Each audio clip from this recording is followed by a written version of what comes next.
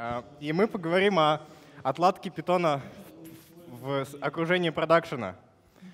То есть продакшн, во-первых, проверим аудиторию. Если для вас это продакшн, то доклад не для вас, к сожалению. А говорить мы будем в основном о Linux.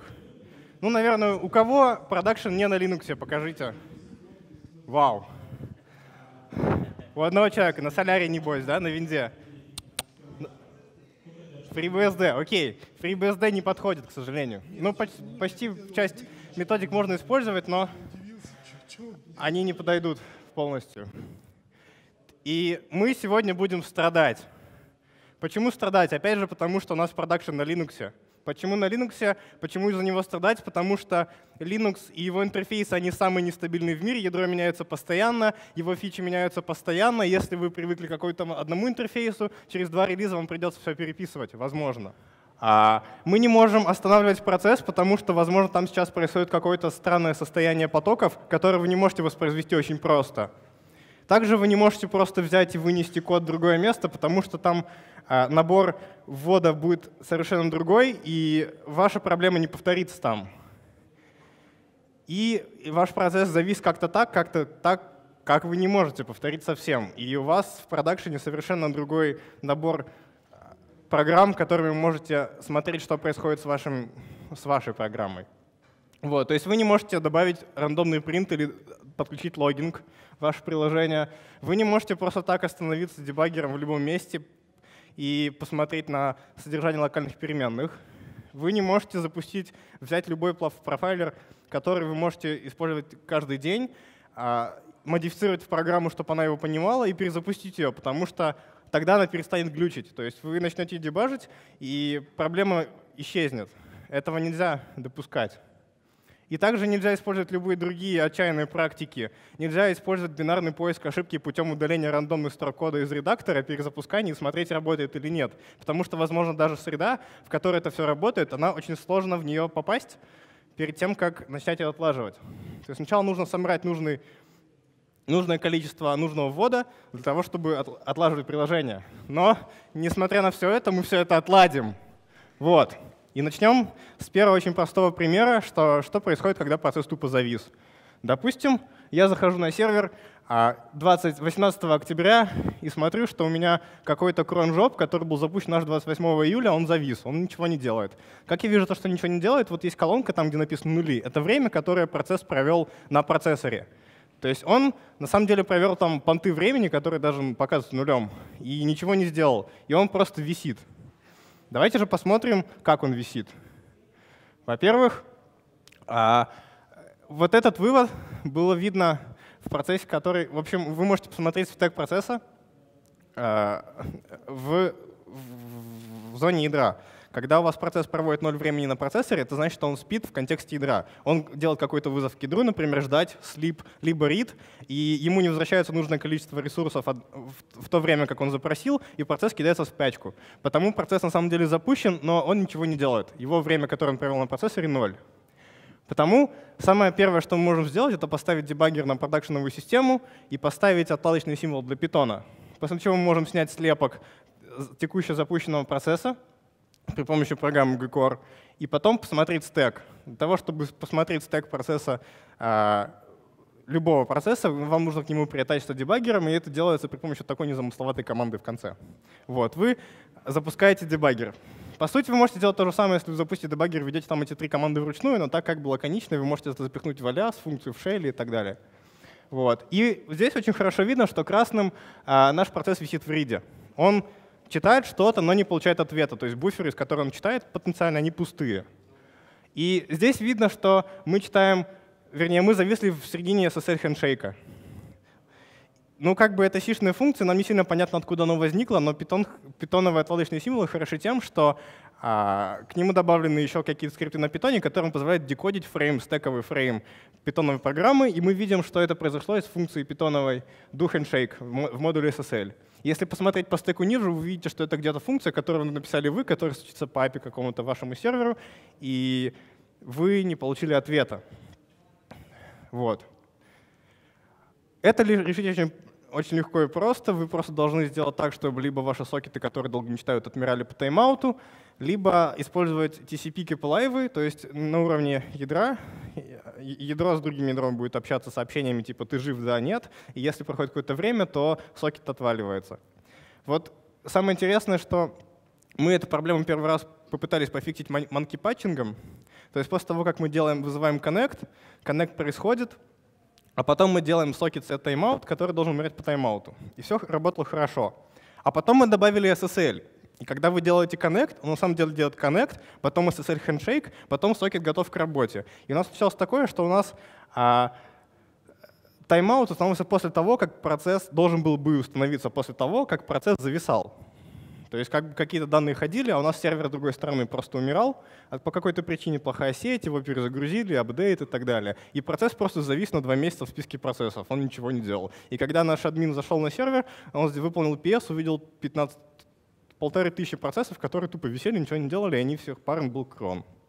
Вот и при помощи тупого метода посмотреть в стек текущего процесса, где он висит, мы решили эту проблему. Вот. Поговорим о другой проблеме, которая не такая статическая, как предыдущая. Вы заходите на shell, shell на сервер, запускаете htop и смотрите, что какой-то процесс жрет ядро ну, как бы постоянно жрет, постоянно у вас одна полоска заполнена. Иногда она перебегает с одного числа на другое, потому что ваш процесс мигрирует с одного ядра на другое. Вот. И вы смотрите какой-то процесс, это, например, конец запускает Django. Наш прекрасная Django что-то делает такое, и она зависла. Вернее, не зависла, а делает какую-то, возможно, бесполезную работу. И в колонке время видно, что она это делает на процессоре уже 615 часов как минимум. То есть это не просто прошло абсолютно 615 часов, а прошло 16 615 часов, ради которых процессор грелся uh, on behalf вот, вот этой задачи, то есть от имени вот этой задачи. Ну, давайте сначала посмотрим, почему. А, вот этот незамысловатый скрипт а, позволяет нам посмотреть, где именно, в, каком, в контексте чего провел процесс время. В контексте пользователя либо системы. То есть когда, в контексте системы — это когда вы вызываете какой-то системный вызов, и он выполняется внутри ядра, то есть на привилегированном уровне. Контекст пользователя — это ваш код на питоне. И вся, всякая метрика по процессу находится в файловой системе proc, в файле stat. А, но там просто набор чисел, которые вы должны как-то прочитать. Э, план, как читать эти числа, написан в man.proc. Вы читаете man.proc, потом понимаете, что там есть набор ключей, которые надо сделать атрибут значением. Пишем незамысловатый скрипт навки, который мапит первое ко второму, и получаем вот такой вывод, по которому можно просто грепнуть и посмотреть. Вот, вот эти значения выведены в количестве счетчиков таймера, который сработал на а, в операционной системе. То есть по, на всех x86 платформах это по умолчанию 100 раз в секунду. Вот. Нам это надо профилировать. То есть посмотреть, что такое профилировать, это очень часто смотреть, где находится счетчик программы в э, текущей выполняемой программе. Но это не всегда полностью полезно, потому что нам еще и надо знать, откуда возник этот счетчик программы, нам надо посмотреть в стек. Вот. И когда мы работаем системными вызовами, самый простой способ профилировать — это узнать, какой системный вызов был вызван чаще всего. И для этого есть утилита strace флагом "-c". Она не так часто помогает, вы просто можете узнать, что примерно делает ваша система и как часто. Но один раз нам это помогло. А, у нас есть клиент из FTP, который просто качает файл с другого сервера. И в коде клиента мы пропустили то, мы проверяли последнее значение на none, а, а на самом деле возвращалась пустая строка. Мы неправильно интерпретировали абстракцию, которая была написана в manRead, то есть в мане к системному вызову, потом в библиотеке, в котором этот системный вызов был использован. И мы получились так, что у нас воркеры Гуникорна, которые были также синхронными, они гоняли по 10 задач одновременно, и по 9 примерно из них были забиты какой-то фигней, они тупо ждали а, того, когда из законченного потоков потока данных, который уже никогда не увеличится, придет еще какие-то данные. То есть мы просто делали бесполезную работу. И strace-c помог нам увидеть то, что мы делаем read очень часто, а потом просто тупым втыканием в код мы поняли, что на самом деле здесь не так читается, э, интерпретируется значение. Вот. Но надо профилировать код на питоне. У нас есть обычно профилировщики, такие как gprof, гнусный gprof, который всем знаком, наверное, многие его использовали, он требует перекомпиляции программы для того, чтобы использовать, то есть он не катит, мы не будем пересобирать программу. Есть также gperf tools, это очень классный утилиты от Google, но они требуют таких же пожертвований, и это можно использовать таким образом только в девелопменте. Есть очень много питоновых профайлеров, с ними те же проблемы. Если не вставили поддержку профилирования ваше приложение, то труба. Это также, этот вариант тоже не пройдет. А, есть профилировщики уровня системы. Есть очень старый профилировщик OProfile. Он достаточно древний, он вряд ли заработает на каком-то новом ядре без танцев с бубном, а так как вы залогинились на продакшн, у вас там уже эта проблема происходит, это тоже использовать нельзя. Есть перф. Его мы посмотрим ближе. Он достаточно современный, он существует последних ядер 10, может чуть больше, то есть его сейчас активно все используют. Есть также э, фреймворки трассировки, такие как dtrace и SystemTap, но, к сожалению, на Linux они работают плохо. Об этом мы поговорим чуть попозже. Вот. А ставим perf. perf должен, версия perf должна быть такая же, как версия вашего ядра. Если у вас ядро из пакетов Debian, и он был собрано правильно, у вас есть пакет Linux который вы можете спокойно поставить. А вы его запускаете, для этого есть команда perfrecord, которая, вы говорите, запускаться 10 секунд и брать снапшоты по нужному процесс ID. Потом вы смотрите вывод и понимаете, что вот питоновые функции упомянуты по одному разу. То есть как бы счетчик программы был считан, э, он был переведен в название э, счетчик программы, то есть адрес, был переведен в название функции, которая лежит по этому адресу, но стек трейса не видно. Где же он? И ответ, оказывается, был очень печальным — что Python был скомпилирован с опцией f-omit frame pointer. Эта опция включена по дефолту в GTC, если вы используете опцию минус O2, то есть флаг оптимизации 2, который используется почти везде по, по умолчанию. Если вы посмотрите, как собирается ядро, то вы увидите, что ядро собирается с флагом fno omit frame pointer, и вот почему. Потому что перв хочет знать, где находится ядро, и видеть весь stack trace. Вот. Что делает f-omit frame pointer? Он убирает из тела функции очень важную инструкцию, которая влияет на то, может ли программа в рантайме найти то, откуда она была вызвана а, ранее. Это сделано соображения оптимизации, которые были актуальны на платформе i386, когда регистров было 8 для общего назначения, а на MD64 их 16, если, и такие интересные и. Вот. Но здесь мы используем как минимум уже 5 утилит для того, чтобы делать разные вещи. Собирать информацию из сети, профилировать процесс, смотреть, какие системные вызовы он вызывает, греб и так далее. Вот. А что, если бы у нас была одна утилита для всего? Вот. Мы, бы наж... мы бы могли поставить брейкпоинт везде, будь то в ядре, будь то в программе. И делать это очень часто, выполнять какие-то действия, то есть как будто мы скриптуем дебаггер, Делаем брейкпоинт, выполняем какие-то действия, собираем информацию, пишем в лог, продолжаем выполнение. Потом повторяем это, конечно. Но чтобы это работало на всей системе. То есть дебаггер вы можете притащиться к одному процессу, а, ну, либо к двум, двум, если у вас рук много, либо у вас скрипт умный.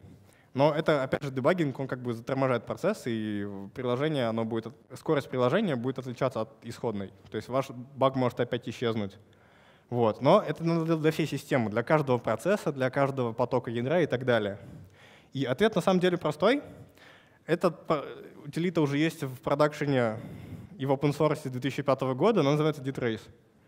Вот. Она есть в Solari, она есть во FreeBSD, но очень плохо поддерживается, есть в других операционках и даже есть для PlayStation. Даже для PlayStation ребята портировали себе dtrace для того, чтобы смотреть на проблемы, которые возникают у них в системе. Секрет детрейса прост. Он просто заменяет инструкцию в вашем коде на инструкцию брейкпоинта, трэпается в ядро, в ядре выполняется какой-то обработчик какого-то кода, который выполняет ваш скрипт, собирает дополнительную информацию и возвращается назад.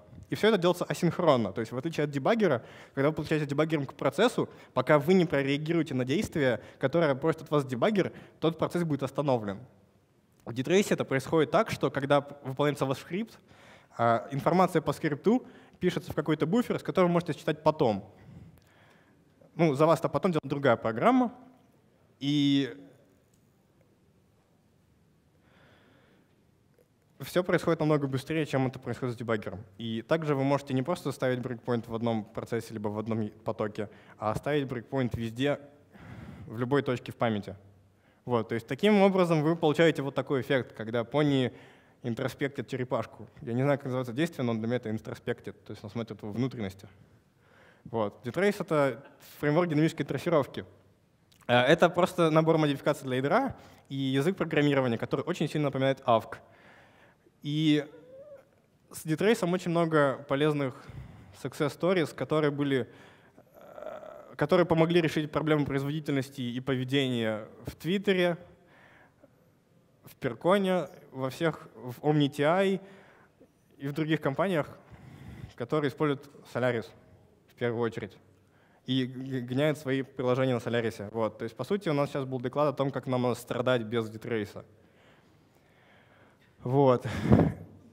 Об этой утилите можно говорить очень много, и об этом языке, и об этом фреймворке, она заслужит отдельного доклада, но знаете, что там можно профилировать Python. Вы можете поставить брейкпоинт в питоновом коде, собрать какую-то информацию, в том числе стек, сделать профилирование, создать такой же graph, который вам нужен а, в в любом приложении, не изменяя его код.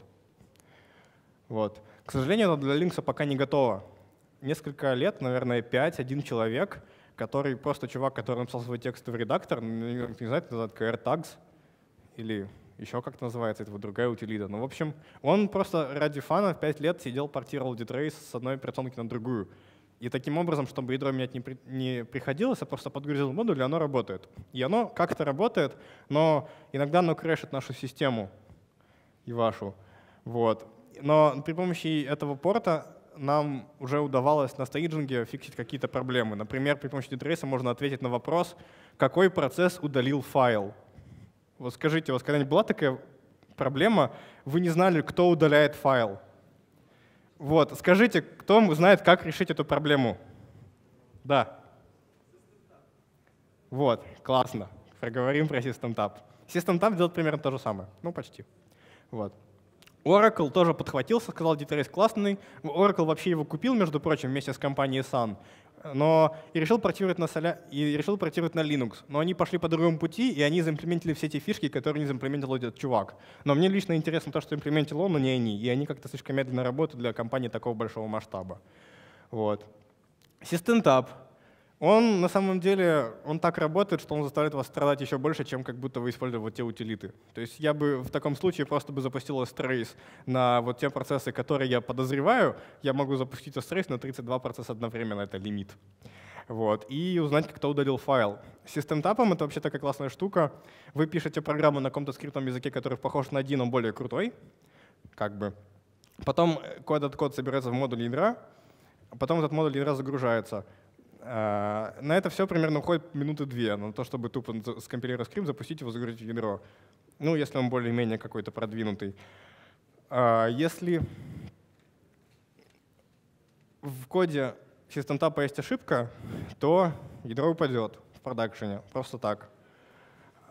А вот если у вас а, вы используете Dtrace, то Dtrace компилирует свои скрипты в специально интерпретируемый байткод, который интерпретирует безопасно виртуальную машину внутри ядра. Если там ошибки, то как бы возникнут ошибки в вашем буфере логинга Dtrace, нежели в системе, которая придет к панике, и ваше приложение упадет совсем, чего допускать, конечно, нельзя.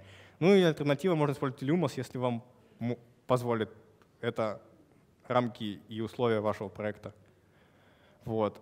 Так что на этом у меня пока все. Большое спасибо за внимание. Задавайте вопросы.